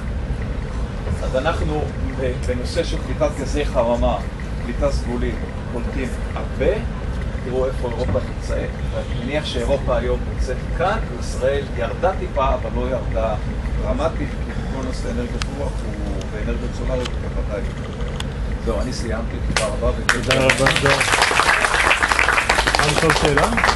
כן. זה הביא מלחמה לה- להחכים אותנו יותר, אז כן, אני רק יס, יסגיר בקצרה. קיבוץ מעלה גלבוע לפני כ-30 שנה ויותר התחיל אה, לחלום את כיוון הרוח. אתם יכולים לראות בראש הגבעה יש טורבינה קטנה, עכשיו היא פונה אה, קצת שמאלה מאיתנו, אז רואים רק את, ה, את העמוד, אבל העמוד שבראש הגבעה יש עליו טורבינה קטנה. אה, לא הטורבינה הזאת, אבל שם הייתה טורבינה ניסיונית ראשונה שהוקמה בשנת 86. הגבעה היום נקראת גבעת טולי, על שם טולי, אחד מחברי מעלה גלבוע, שנפל מהעמוד הזה הזמן שהוא טיפל בטורבינה. אה, אה, זה שנת 86. בשנת 96 הוקמה הטורבינה הזאת שפה לפנינו, אה, שהייתה אז בשותפות עם חברת חשמל, והיא גם הייתה טורבינה ניסיונית, עבדה כעשר שנים, וב-2016, השנה בעצם אה, התחילה, באפריל התחילה לעבוד החווה הזאתי. אה, שהיא מספקת כל טורבינה 850 קילוואט שעה. מה זה קילוואט שעה? אם אנחנו לוקחים מנורה של 100 ואט ומדליקים אותה 10 שעות, צרכנו 1 קילוואט. 1 קילוואט שעה. בסדר? משפחה ישראלית ממוצעת צורכת בין 600 ל-700 קילוואט שעה בחודש. הטורבינה הזאת, ברוח טובה, מייצרת 850 קילוואט בשעה אחת. אם אנחנו מדברים על כמה שווה כל החווה הזאת, יש לנו פה 14 טורבינות שמייצרות ביחד 12 מגוואט, 12 אלף, אלף קילוואט שעה, וזה מחזיק משהו כמו שני שליש מבית שאן. מה ש... עכשיו אפשר להבין. אוקיי. אה, אבל כמובן, זה לא באמת ישירות מחזיק שני שליש מבית שאן, אלא זה חשמל שכאשר הוא מיוצר, הוא נשלח לחברת חשמל. ולמה זה לא יכול להיות מחובר ישירות לבית שאן? כי למשל עכשיו, אם מישהו בבית שאן רוצה להדליק את האור או את המקרר, אין לו, כי אין רוח. ובאמת הבעיה של כל האנרגיות המתחדשות זה החוסר אה, יציבות שלהם. כשיש רוח, יש חשמל, כשאין רוח, אין חשמל. כשיש שמש, הקולטים הפוטו-וולטאיים שיש לנו פה על כל הרפתות והלולים והמבנים הציבוריים מייצרים חשמל, אבל אם פתאום בא ענן זה יורד ל-40% ייצור. מגיע הלילה זה לא מייצר בכלל, אבל דווקא אז רוצים להדליק את האור ולכן אי אפשר לצבור. הטורבי... האמצעים המתחדשים חייבים גיבוי באגירת חשמל. וזה... או הגירה מקומית. או הגירה מקומית. הגירה מקומית יכול, היא מאוד מוגבלת מבחינת היכולת. אי אפשר לאגור למדינת ישראל חשמל. לא, מקומית. אפשר לאגור, אם מישהו יש לו קולטים על הגג והוא שם כמה מצברים, הוא יכול אה, להחזיק לפ... בדרך כלל את הלילה. אבל זה לא משהו שיכול להחזיק אה, צריכה רחבה יותר. אה, עוד דבר שאפשר לראות, קודם כל עכשיו החווה מתחילה להתעורר. מתחיל הרוח, אתם יכולים לראות כל הטורבינות, יש להם אה, אה, כיוון עצמי לרוח. אם תסתכלו לכיוון ההוא, תראו עמוד אחד שאין עליו טורבינה, שהוא צר יותר. העמוד הזה יש עליו תחנה מטאורולוגית קטנה עם כיוון רוח ועוצמת רוח, והוא נותן איזשהו נתון אובייקטיבי. גם בזנב של כל טורבינה אפשר לראות שיש עוד איזה עמוד קטן, שהוא בודק על הטורבינה עצמה, עוצמה וכיוון, וכל טורבינה מכוונת את עצמה באופן אופטימלי אל הרוח. ברגע שיש רוח של שלושה מטר לשנייה, זה רוח שבה הטורבינה יכולה להיכנס לפעולה והיא משקיעה את המאמץ בלסובב את הנסל, את החלק העליון שלה, לכיוון הרוח באופן שהוא יתפוס את הרוח אה, בצורה הטובה ביותר. ברגע שמשלושה מטר לשנייה ועד 25 מטר לשנייה, הטורבינה לאט לאט התפוקה שלה עולה והיא מגיעה ל-850 קילוואט שעה הזה. הגענו ל-25 מטר לשנייה, 90 קמ"ש, זו רוח חזקה שהטורבינה הזו לא מיועדת להתמודד איתה והיא בעצם עוצרת. היא לא עוצרת רק עם ברקס, אלא היא פשוט מסיטה את כיוון הכנפיים שלה באופן שהיא לא, לא תהיה מושפעת מהרוח. מה יש לנו בתוך הטורבינה? הציר של הרוטור מחובר לגלגלי שיניים לתיבת הילוכים. ככל שמהירות הרוח עולה, עד איזושהי רמה הכנפיים ממשיכות, מתחילות להסתובב יותר ויותר מהר. הם הגיעו ל-24 סיבובים לדקה, הם לא מסתובבים יותר מהר גם אם הרוח יותר חזקה, כי הטורבינה תתפרק, אלא זה מעביר הילוך שם בפנים, והציר שמגיע אל הגנרטור הוא בעצם מסתובב מהר יותר. כך שהחשמל שנוצר הוא גבוה יותר. הטורבינה לא יכולה להסתובב יותר מדי מהר. טיפה נתונים על הטורבינות, הגובה של העמוד הוא 44 מטר. עליו יושב משקל של 26 טון. ה-26 טון הזה, רק השפיץ הזה שמחזיק את הרוטור, שמחזיק את הכנפיים, שוקל 6 טון, כי הוא אמור לעמוד במ- במאמצים מאוד מאוד חזקים. ומאחוריו 20 טון זה הגירבוקס וה, אה, טור- והגנרטור שמייצרים את החשמל. החשמל שנוצר הוא במתח גבוה, עובר שנאי שמעביר אותו במתח נמוך. 690, ועוד ש- נמוך. נמוך, 690 וולט. השנאי בתחתית הטורבינה מעביר אותו ל-22 קילו וולט, לא ואט שאמרנו קודם, קילו וולט, שזה המתח שעובר בקווי מתח גבוה. ואחר כך זה מגיע לבתים ומשתנה מחדש. אה, ועכשיו אני מעביר את השרביט למנור, כי אמרנו שיש לנו בעיה עם האנרגיות המתחדשות שהן לא יציבות, אז עכשיו מנור יסביר לנו איך אוגרים חשמל. שאלה אליך, לאיזה עומק מגיע עמוד הבסיס? התשתית? 18 מטר. המשק לא תזרוק. ב-130 שנים, בערך 130-40 שנה, שהאדם משתמש בחשמל ומפיק חשמל לתועלתו באופן מסחרי, עשו דברים נפלאים עם חשמל. מתאורה וחימום ועד אה, מנועים חשמליים וכמעט אנחנו היום מעליות, למשל, קחו רק את המוצר מעלית, דמיינו את החיים בלי מעלית, כל הערים, כל המגה סיטיס, עוצרים את המעליות, הן קורסות, כל התשתית שלהם בנויה על מעליות. הדבר אחד לא הצליחו לעשות עם חשמל ב-130-140 שנה האלה, וזה לאגור אותו בדרך יעילה. היום יש שמועות שכבר יש טכנולוגיות שנמצאות בפיתוח ובקרוב יהיה אפשר לאגור חשמל. כרגע, הדרך היחידה לאגור חשמל זה בבטריות שיש לנו בטלפונים, במצברים שיש לנו במכוניות, 12 וולט בדרך כלל. 24 וולט זה מאוד מאוד לא אה, יעיל, אי אפשר, ב, זה, אי אפשר לאגור חשמל בצורה מסחרית בבטריות. בטריות זה אפשר עליו רק במתח מאוד אה, נמוך ולצרכים מאוד אה, מוגבלים. מה כן אפשר לעשות? אפשר לאגור חשמל בדרך של אנרגיה פוטנציאלית וזה בדיוק מה שהמתקן שנמצא מאחוריכם ואיך זה עובד. דמיינו, תראו את המאגר הזה, מאגר עצום של אה, שניים וחצי מיליון קוב. המאגר הזה, דמיינו שיש לו מאגר אח תאום למרגלות הגלבוע, מעל קיבוץ אה, רשפים. יש מאגר שנראה בדיוק אותו הדבר, וביניהם מחבר שישה קילומטר של פירים ומינור בעצם, ש- שישה קילומטר של מנהרות, זה פיר אנכי שנמצא כאן, הפיר נמצא, אתם רואים את המכונת קידוח הענקית, זה של חברה איטלקית שקודחת שם. הם קודחים את הפיר האנכי, זה נמצא בשלבי אה, סיום, כבר לאיזה עומק הם הגיעו? הם הגיעו כבר עד למטה, זה, עד למטה. זה עובד בשיטה מאוד מעניינת, הקריאה היא כלפי מעלה, הם קודם כל קדחו במקדח מאוד מאוד אה, דק, נכנסו את כל העומק 500 מטר, ואז יש להם איזו שיטה כזאת שהם על, ה, על המקדח הם כל פעם אה, מלבישים עוד, אה, הם מרחיבים בעצם את הרוטור שלו, ואז, ואז את הקידוח הם למעשה עושים כלפי מעלה. איזה יתרון זה נותן לנו? שהחומר נופל למטה. החומר נופל ישר למטה, לא צריך כל הזמן לשאוב את החומר ולהעלות אותו. אה, אחרי שמהפיר האנכי המים, אה, המים אה, נופלים וממשיכים לזרום בכוח הכובד אה, כלפי אה, מטה, מפעילים את הטורבינות ובסופו של דבר מוצאים את עצמם במאגר התחתון. בערך יש לנו 24 שעות ביממה, 13, ש- 10 שעות המים עולים, 13 שעות המים יורדים, זה ככה ב- אה, באופטימלי. מה יש לנו בשעה הנוספת? הפוך, הפוך. 10 הפוך. שעות יורד, 13 שעות עולה. סליחה, 10 שעות יורד, 13 שעות עולה, שעה אחת זה, צריך גם לשעה אחת זה נח, בכל זאת, צריך איזה שהם אה, תנאי עבודה.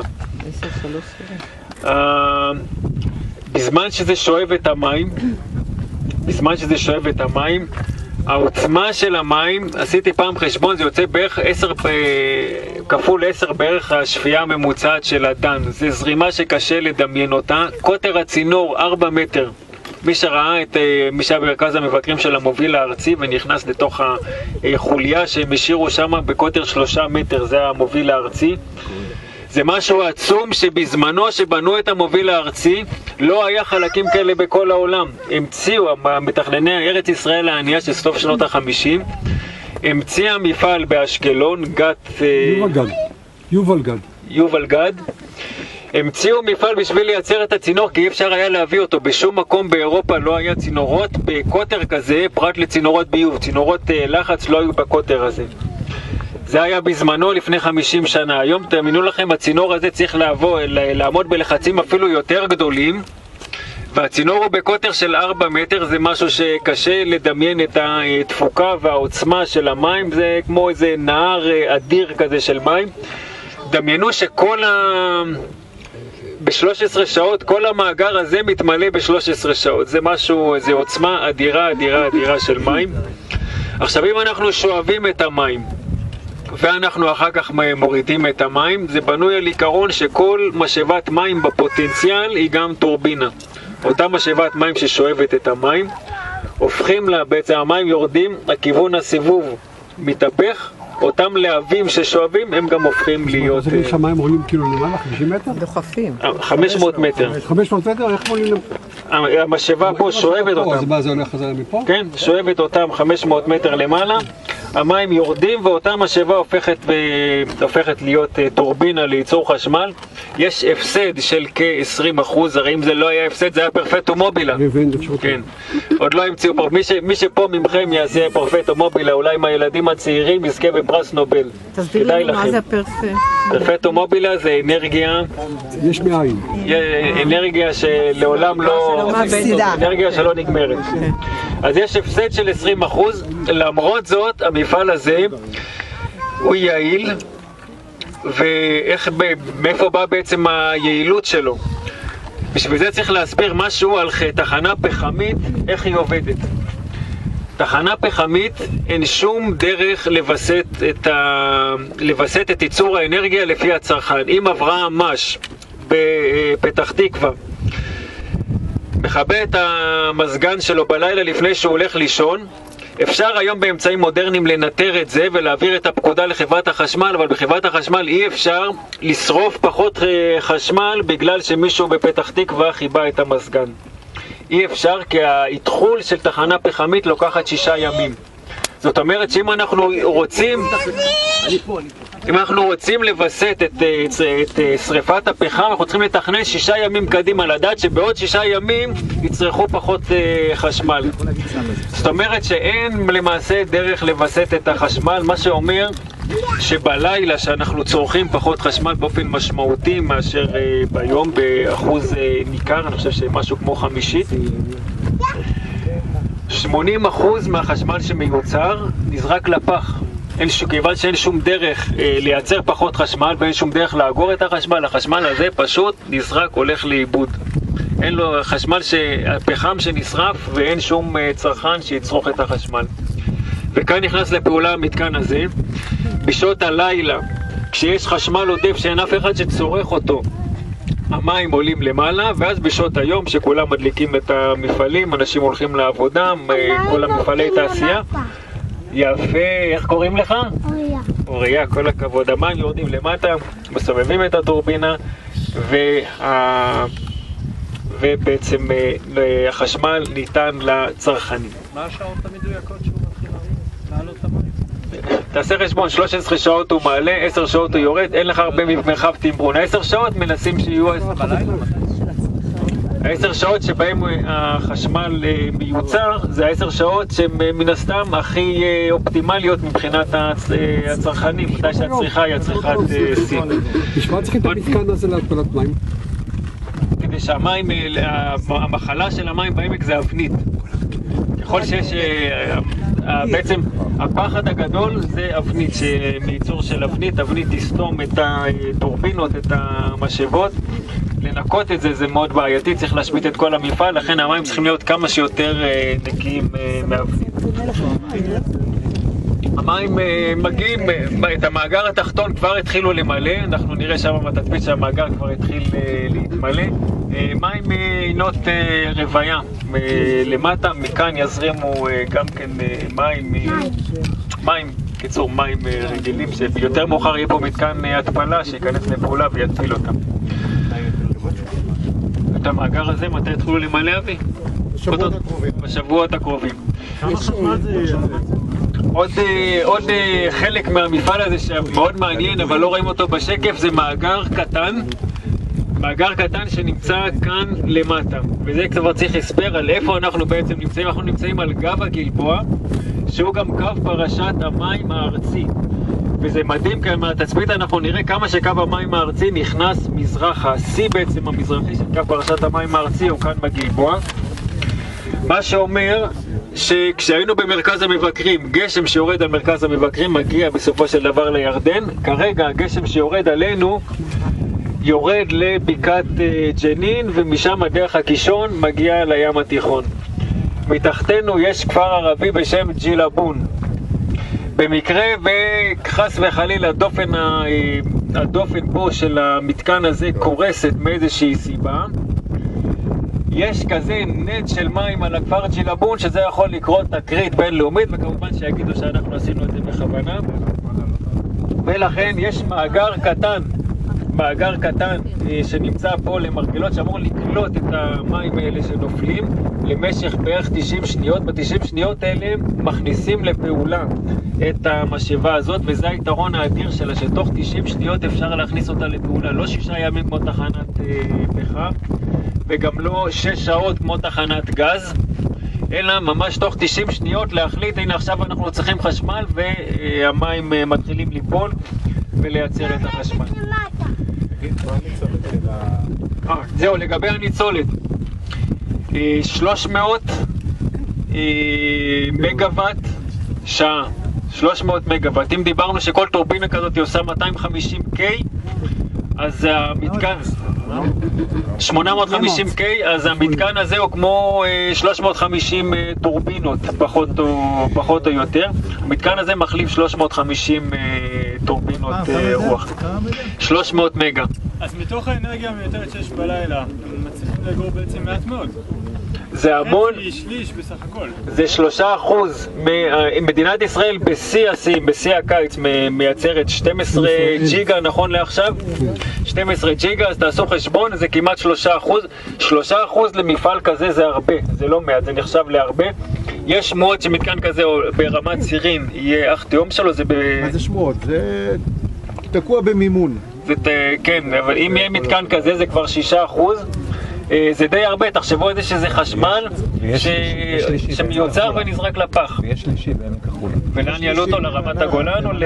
לא, לא, לא, לא, מנרה. או, זה שם בכלל זה 800 מטר. צומת. כן. 500 מטר, פה ההפרש גבהים הוא 500 מטר. זה, לא משנה, 500 מטר זה... ה- הלחץ, הרי זה לא כמו, תמיד כשמדמיינים אנרגיה של אה, נפילת מים, אנחנו חושבים על משהו כזה, גלגל כפות עות'מאני שהמים נופלים ומסובבים, זה לא ככה.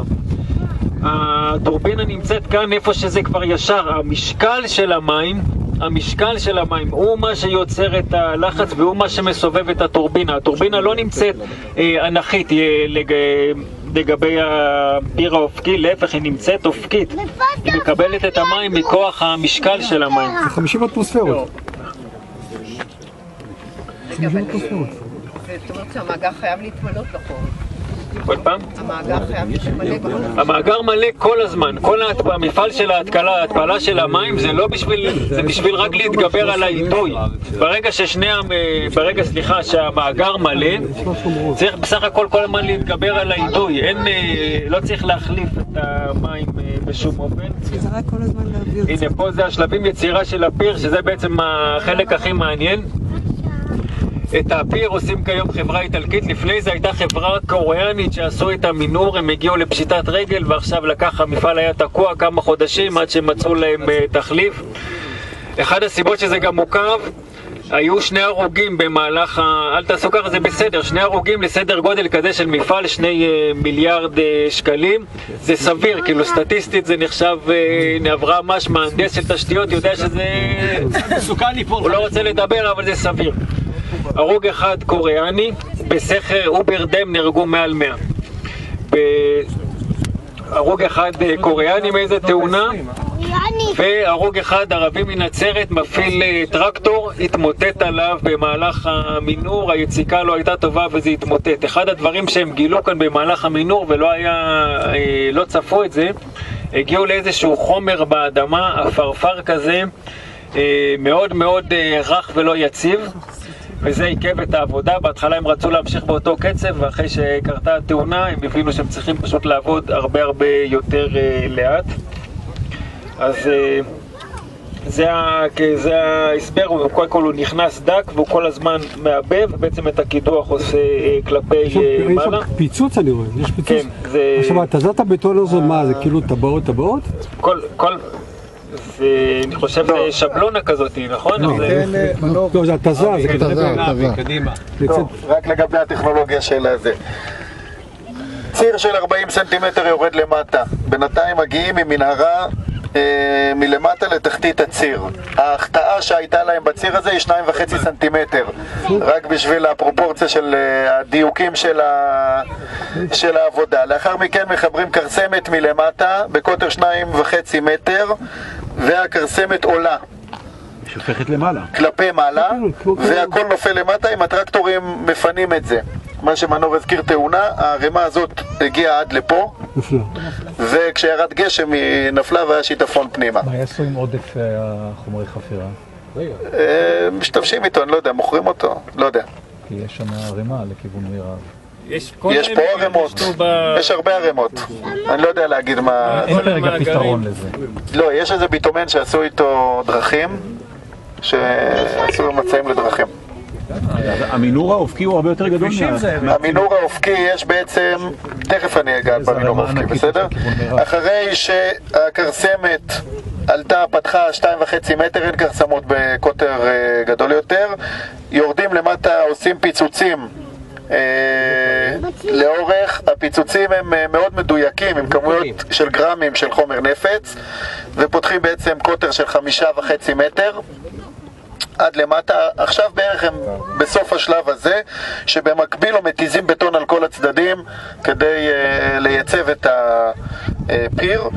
לאחר מכן מתחילים יציקה של צינור. הצינור יוצקים אותו בתבניות שמתחילות מלמטה, כל פעם יוצקים ועולים כלפי מעלה עם היציקה. זה תהליך שממש עכשיו יתחיל בנובמבר. 24 שעות ביממה, שבעה ימים בשבוע, אסור לעצור את היציקה הזאת, עובי הדופן חצי מטר. זאת אומרת, הגענו לצינור בקוטר ארבעה וחצי מטר, במקומות חלשים במיוחד שמים גם כן איזשהו תותב כזה מפלדה, כדי להחזיק את ההיקף של הבטון. וככה מגיעים למעלה. העבודות נעשות במקביל, זאת אומרת במקביל לפתיחה של הפיר הזה גם עדיין לא בנו את כל אולם הטורבינות למטה. האולם למטה יש לנו פה כמה תמונות, אה, זה, מנהרות הם, יש לנו שתי מנהרות בגדול למטה, שתי סוגים של מנהרות. מנהרה אחת ישרה, שבה עובר הצינור. עדיין, עדיין, נכון, עדיין לא כל הצינור יצוק בפנים, אבל יוצקים אותו מבטון איפה שצריך, ויש מקומות שמפלדה. אה, זה הצינור. בסדר? אתם רואים פה אנשים קטנים, רק בשביל להבין את ה... את הגודל של הצינור, זה התבנית של הצינור. פה אנחנו רואים את אולם הטורבינות, יש שתי טורבינות, כל אחת 150 מגה, אפשר להפעיל אחת או שניים בהתאם לצורך. המנהרות השניות שיש זה כל המנהרות שירות. יש שם מנהרות שרק כדי שהטרקטור יוכל להיכנס, כדי למשוך את המשהו, אז היה צריך לכרות עוד איזה 300-400 מטר מנהרה, כי אחרת אין איך להכניס. עכשיו בנובמבר אנחנו הולכים להביא, אנחנו. הם הולכים להביא את השנאים, משקל השנאי 180 טון. הולכים לסגור חצי מדינה בשביל להביא לפה שני שנאים, זה יהיה בלילה ולא בשבת כמו סיפור המשכן, מי שזוכר שהפיל אה, אה, את ממשלת ברק. אה, 180 טון זה משאיות שגוררות מקדימה ובולמות מאחור ומכניסים, ואז בסוף מגיעים למנהרה. בפנים אי אפשר להכניס משאיות שיגררו, כי הם לא יוכלו לצאת. אז איך מכניסים 180 טון? חוזרים אחורה להורדוס, איך דוחפים 180 טון? בתוך... שמים גלילים ודוחפים בדיוק. מביאים גלילי פלדה, מגלגלים עליהם בדיוק את כל המשכן הזה, ומנוף של 220 טון שנמצא בפנים כבר מחכה, ירים את המשכן, זה, את השנאים האלה זה מנוף שיעבוד פעמיים בחיים, אחד לכל שנאי וילך לישון, אבל בשביל זה הכניסו אותו שם פנימה. סך הכל הפרויקט הזה הוא 2 מיליארד שקל, שהוא בעצם אה, מכונה בליסינג. כמו שהאוטו שלנו, אנחנו לוקחים אותו מחברת אה, ליסינג ושמים אותו אצלנו, אותו דבר חברת חשמל, יש לה פה מכונה בליסינג. תחנה בליסינג. אם הם ירצו ישתמשו, לא ירצו לא ישתמשו, הם משלמים תשלום חודשי קבוע על הדבר הזה. זה נועד שחברת חשמל לא תתחיל לעשות משחקים וכן להפעיל ולא להפעיל. 20 שנה הם צריכים לשלם תשלום קבוע בין אם הם משתמשים ובין אם לא. אחרי 20 שנה זה הופך להיות של היזמים, חוזר ליזמים והם עושים מזה מה שהם רוצים. נראה מה יהיה, איזה רגולציה תהיה עוד 20 שנה. זהו. יהיה יזם. החברות שבונות פה זה אלקטרה ושיכון ובינוי. החלק של אה, מעלה גלבוע בכל הסיפור של הטורבינות ושל זה ושל עוד אה, פרויקט של טורבינות שאמור להיות מפה לכיוון צפון ועוד פרויקט של מיקרוגריד. מיקרוגריד זה אומר שמעלה גלבוע יהיו מנותקים, מחבר... יוכלו להיות מנותקים מרשת החשמל הארצית ולספק לעצמם באמצעות שמונה טורבינות כמו זאת אה, הטורב... אה, שיהיו פה ועוד כל מיני אמצעים. הכל זה ענף האנרגיה של מעלה גלבוע, זה דובי שקודם אה, פגשתם אותו, זה הרוח החיה. זהו, החלומות עוד גדולים. מה החלק של הקיבוץ? החלק של הקיבוץ זה השכרת השטח. ובחקירה שאובה יש עוד כמה... זה. אבל אם אנחנו רואים שאנחנו עושים את זה יחד עם אלקטרה ושיכון ובינוי, אנחנו הזבוב שיושב על הגב של השור ומספר שאנחנו חורשים ביחד. זה בערך ה... למינהל אין בעיה. כמה מקומות עבודה? לא, לא, זה הולך לפי אחוזים שהמינהל קובע. צרות. יש, זה הרגולציה. לא, זה הולך לפי מה שרשות מקרקעי ישראל הוא מקבל, כמה שהרשות... טוב, מנור? מנור? אז רכס הרי הגלבוע. ועכשיו, אם אתם מסתכלים ימינה, כלפי מזרח, אם אתם, מי שמסתכל ימינה כלפי מזרח יכול לבוא ולהגיד, מדריך, אתה קצת מתבלבל. איך יכול להיות שאם אני באתי מכיוון מערב ועליתי באזור גנר לדרך נוף, רובכם ככה באתם בבוקר, באתם פחות או יותר מכיוון אה, מערב, ופחות או יותר נסעתם לכיוון מזרח, טיפה דרום-מזרח. והנה כאן זה נגמר המזרח, אין יותר מזרח, פה זה משתפל למטה לכיוון בקעת הירדן. אז מה קורה לרכס הזה? אנחנו נמצאים במזרח הרכס, מה פתאום במרכז הרכס? אז התשובה היא נמצאת מאחורינו. וזה דבר ייחודי לרכס הגלבוע, ייחודי בנוף הארץ ישראלי, שהר יש לו צורה כזאת של בומרנג. הנה, הר- הרי הגלבוע ממשיכים לכיוון הזה וממשיכים לכיוון הזה, ואנחנו נמצאים ממש בקשת החיצונית של אותו בומרנג שיוצר את הרי הגלבוע. וזה חשוב לזכור כי זה מבלבל, אני ראיתי ככה לא מעט מורי דרך בכירים שמבינים גיאוגרפיה, שמבינים שטח, שהנושא הזה מבלבל אותם. מדוע זה כל כך מבלבל? כי רוב הערים בארץ פשוט לא מתנהגים ככה. וגם לזה יש סיבה. במדינת ישראל יש לנו, באופן כללי, בחלק הצפוני של המדינה, שתי נקודות נמוכות שמושכות אליהם את המים.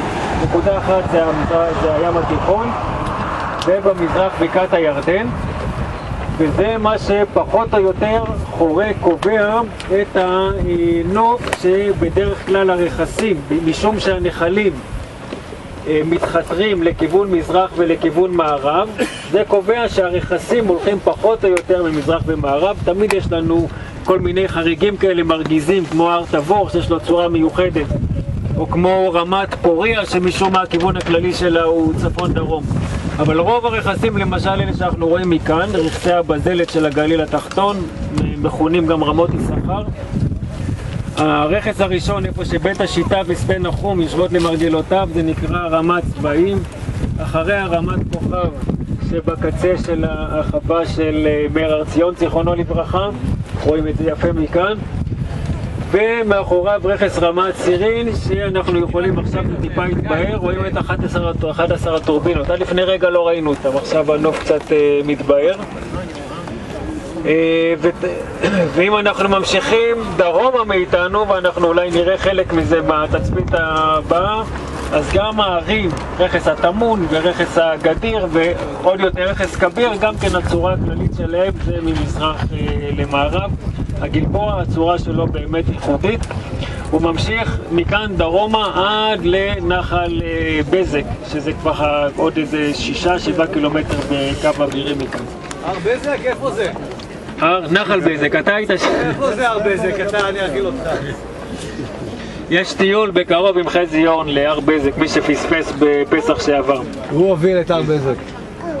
עכשיו, אז המקום הזה זה מקום של מפגש, קו הג- הרכס הגלבוע, למרות הצורה של הבומרנג שלו, לאורך כל הבומרנג הוא מה- מהווה את קו פרשת המים. זה אומר שגם במצפה עליזה, שאנחנו נהיה כל כך, כאילו, כל כך האוריינטציה שלנו לכיוון מזרח, אבל עדיין קו פרשת המים ממשיכה לעבור אה, על רכס הגלבוע גם לכאן, אה, לכיוון דרום.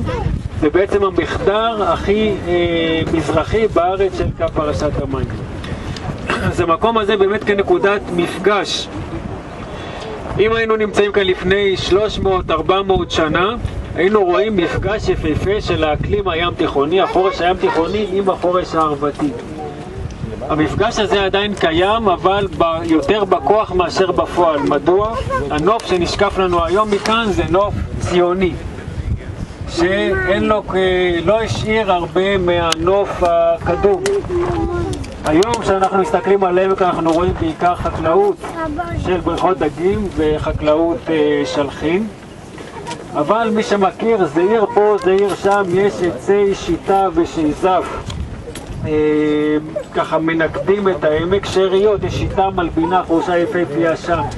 ויש עוד חורשה יפהפייה אה, במורדות אה, נחל תבור אה, אולי הקטע שהכי אה, מזכיר עדיין ומשמר את הנוף הערבתי מפעם זה שמורת נחל דבור, שם עדיין אפשר להרגיש כמו בסוואנה אפריקאית.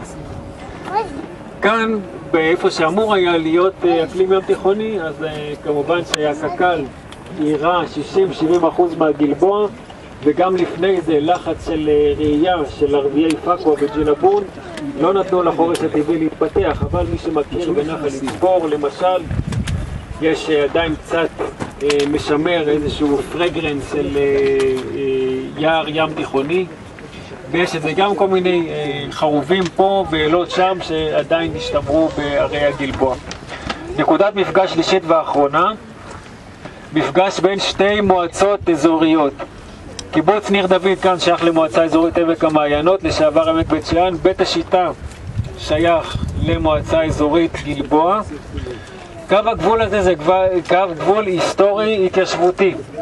אדמות עמק יזרעאל, אדמות גוש נוריס, נרכשו בשנת 1921, או 1920 אפילו, על ידי יהושע חנקין, שהגבול המזרחי שלהם זה קיבוץ בית אלפא, כמו שהיטיב לבטא את המשורר הלאומי נתן אלתרמן, מבית אלפא ועד נהלל. שאף אחד לא יתקן אותי, שהוא לא המשורר הלאומי. מבית אלפא עד אה, נהלל, זה פחות או יותר אדמות אה, גוש אה, נוריס, נרכשו מכה אחת, 60 אלף דונם. לאחר מכן רצו להתפשט לכיוון מזרחה, למה זה היה כל כך חשוב? חוץ באתוס הציוני של לרכוש אדמות. צפונה מאיתנו יש את עמק הירדן, אדמות דלאיקה ואדמות אחרות שנרכשו כבר בתחילת המאה ה-20 והיה צ- מנחמיה אז סימנה את קו הגבול הדרומי שלהם והיה צורך אה, לחבר ה- בעצם את העין ההתיישבותית, הברך התחתונה של העין ההתיישבותית זה עמק בית שאן והיה צורך לחבר את אה, מנחמיה בעצם לבית אלפא, להשלים את העין ההתיישבותית. הבעיה היא שהשטח הזה היה מחולק לכל מיני אפנדים מקומיים, לא היה איזה שליט ככה, לא היה איזה אפנדי גדול כמו סורסוק שהיה שייכים אליו אה, הרבה אדמות. והקרן הקיימת מתחילה לרכוש אדמות איפה שהיא רק הייתה יכולה, 900 דונם פה, 800 דונם כאן, מהטמפלרים, אה, למשל בטירת צבי ושדה אליהו של היום, אדמות של אה, טמפלרים, ככה חוות, עוד איזה ככה קוריוז מעניין אה, על העמק. ומכל מיני ערבים מקומיים, מוסא עלמי, שלימים היה אחד מהמובילי דעת קהל של המרד הערבי, לא למכור אדמות לציונים, אז הוא בעצמו, המשפחה שלו שנה, שנתיים קודם לכן מכרה אה, אדמות כאן בעמק בית שאן וכל מיני אחרים. והיה צורך ליישב את האדמות האלה. השנה 1934-35 מתחילים לעשות כל מיני אה, פעולות להכשיר את ההתיישבות ואז פורץ 1936 המרד הערבי. אחת הקבוצות שהיה להם משבצת להתיישבות, זאת קבוצת תל עמל, יושבת בקיבוץ בית אלפא ומחכה שהמרד הערבי ייפסק. מחכים חודש, מחכים חודשיים, מחכים שלושה. בינתיים הם כבר הם לא יודעים מה לעשות, הם יודעים מה אומרים עלו, הם מתארחים בקיבוץ בית אלפא ואורחים זה כמו דגים, אחרי כמה ימים מתחילים להסריח. הם חייבים לקבל החלטה, או שהם חוזרים הביתה, או שהם עושים איזשהו מעשה אה, שחורג מהמקובל, חורג מהמסגרת, והם לאט לאט מפתחים ההבנה שהם צריכים ביום אחד לבוא ולהקים נקודת התיישבות. היה להם ניסיון מר מזה שאיך שהמאורעות מתחילים ב-19 באפריל, ב-20 לאפריל, בוזזים להם והורסים להם וחורשים להם את כל ה... מה שהם הספיקו לעשות. והם מבינים שחייבים ביום אחד לבנות יישוב שיוכל להגן על עצמו, ואין שום קשר לחוק עות'מאני, זה איזשהו, כן... כל מה שלמדנו על חומת המגדל, חוק בריטי, חוק עות'מאני, תמחקו. לא יודע איך להשתרבב לספרי ההיסטוריה, פשוט אין לזה שום אחיזה במציאות. עדיין אבל אומרים לי את זה ילדים בכיתות ד' שמגיעים לשם. בקיצור, לוקח המון זמן עד שהתהליך הזה מבשיל במיוחד, הדבר הכי קשה היה לשכנע את המוסדות הציוניים שהדבר הזה בכלל אפשרי. מזורק אבנים. עוצר התיישבותי, אף אחד אה, לא, לא קמים שום אה, יישובים באותה תקופה. מי שתומך בהם זה מי שלימים נחשב למתון, אבל אז היה אקטיביסט משה שרת. ובטכניון בחור בשם יוחנן, אה, פרופסור יוחנן רקנר, הוא זה שככה אה, נקשר לבחורים הצעירים האלה ובעצם אומר, תשמעו, החבר'ה האלה, אה, אפשר, התוכנית שלהם היא ברת ביצוע, תנו להם צ'אנס.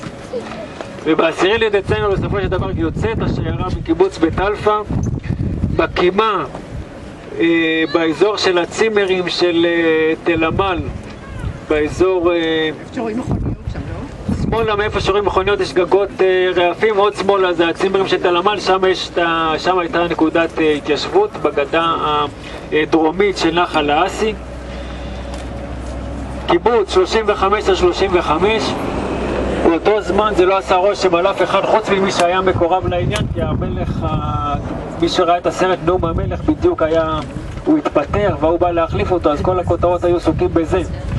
אבל קיבוץ שדה נחום, קיבוץ קבוצת השדה שישבה בבית השיטה ראתה מה הם עשו ואחרי 25 יום מקימה באותה שיטה את קיבוץ שדה נחום.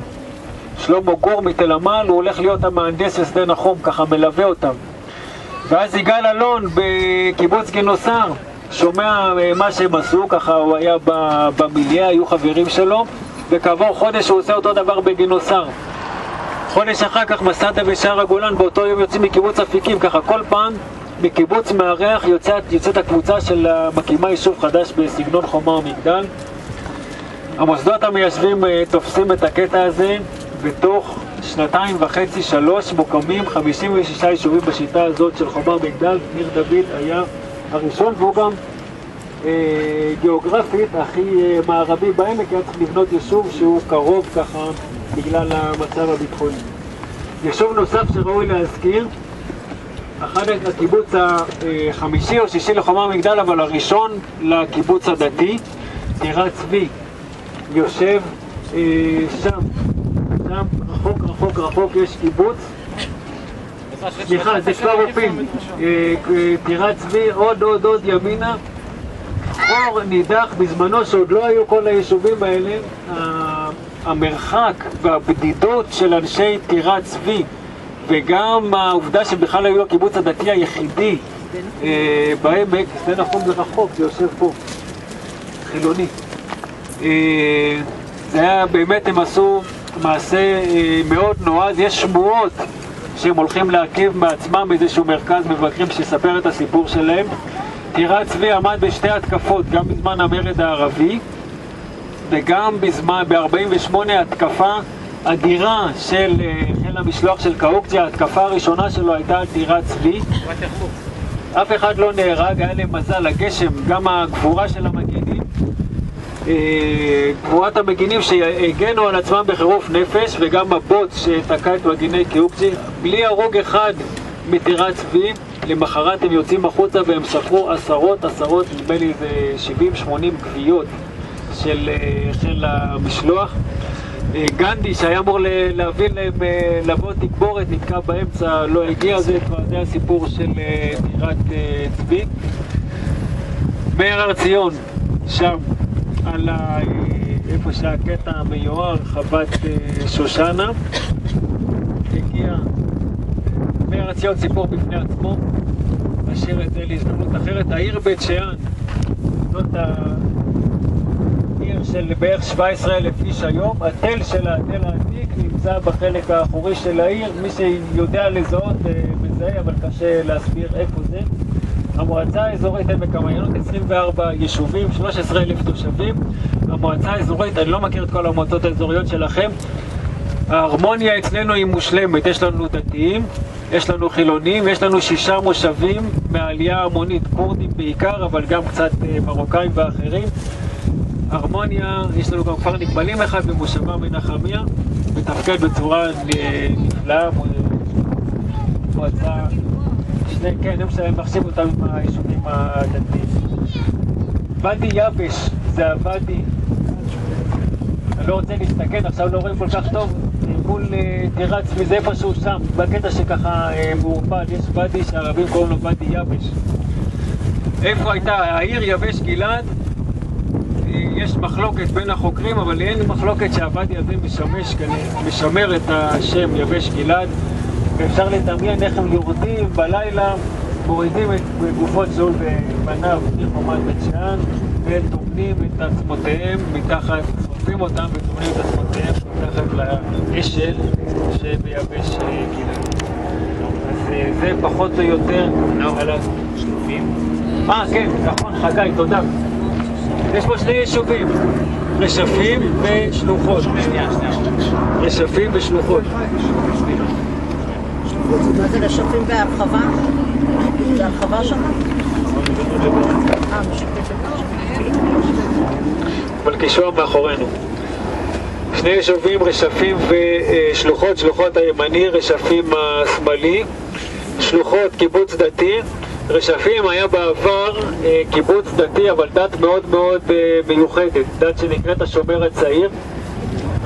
הרבה הרבה הרבה יותר קיצונית מכל דת אחרת שאתם אה, מכירים, אבל הדת הזאת היא ככה התפרקה בשנים האחרונות. שלוחות, עם זאת, נהיו פחות אה, ככה, איכשהו נהיה אינטגרציה כזאת. ויש משהו באמצע, אתם רואים משהו כפר ערבי בין רשפים לשלוחות? זה יישוב חדש בשם שלפים. היישוב הזה, אה, אם תשאלו תושב שלפים, יגידו לכם, אנחנו יישוב חדש.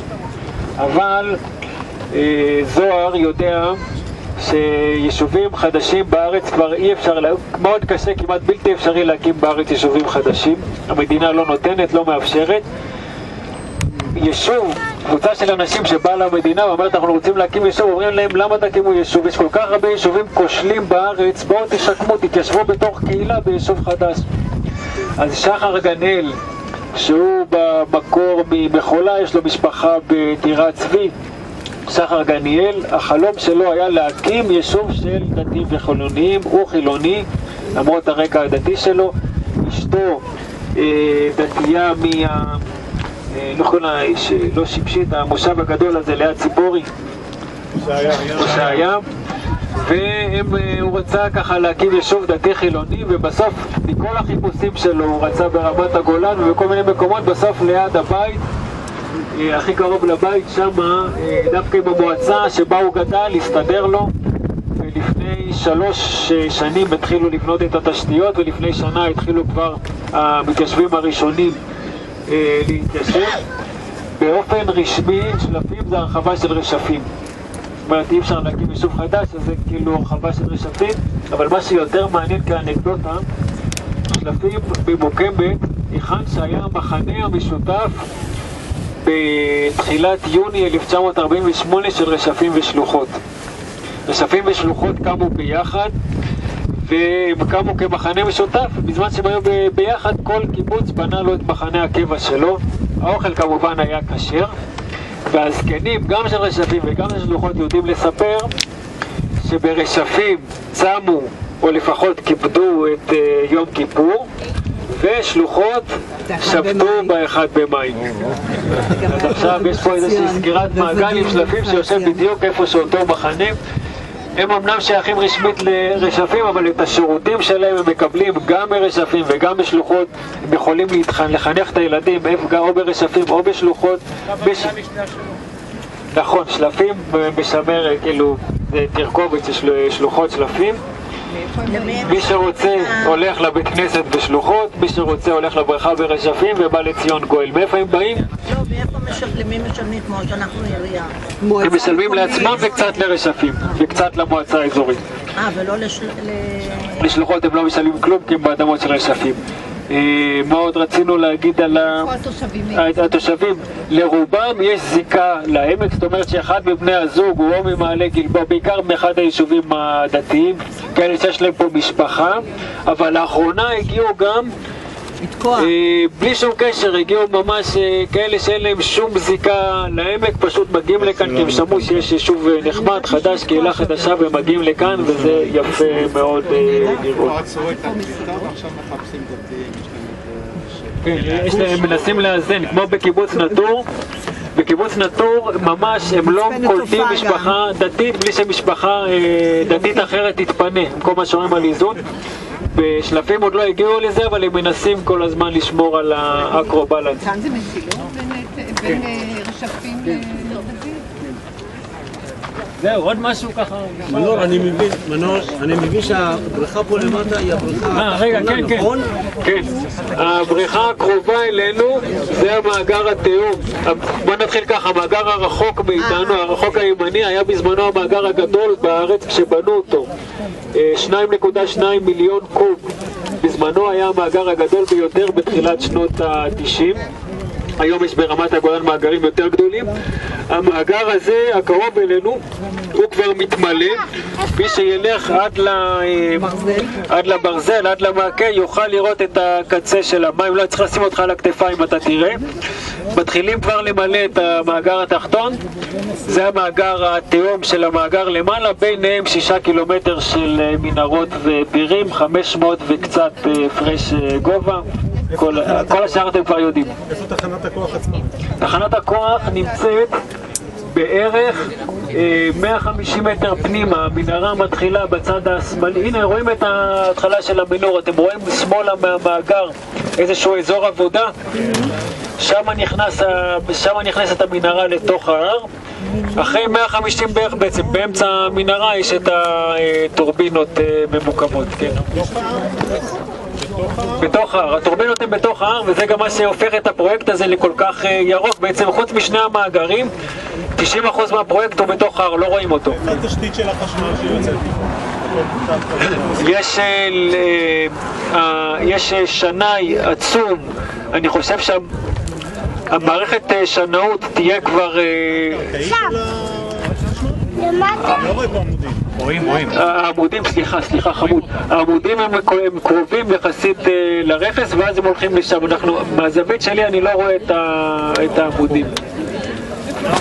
מהזווית שלנו לא רואים אותם כי הם, קרובים פשוט אה, להר, כן. אה, דובי וערן שמיר, המצפה הזה, דובי וערן שמיר, אתה רוצה, אתה מכיר אותם? אתה רוצה... תשים את הבקבוק הפוך. יש פה מישהו שהכיר אותם? הפוך אז לא. כן. כן, כן, יש, יש סרטון על הגירה שובה. תרגיש הגירה שובה תקבל.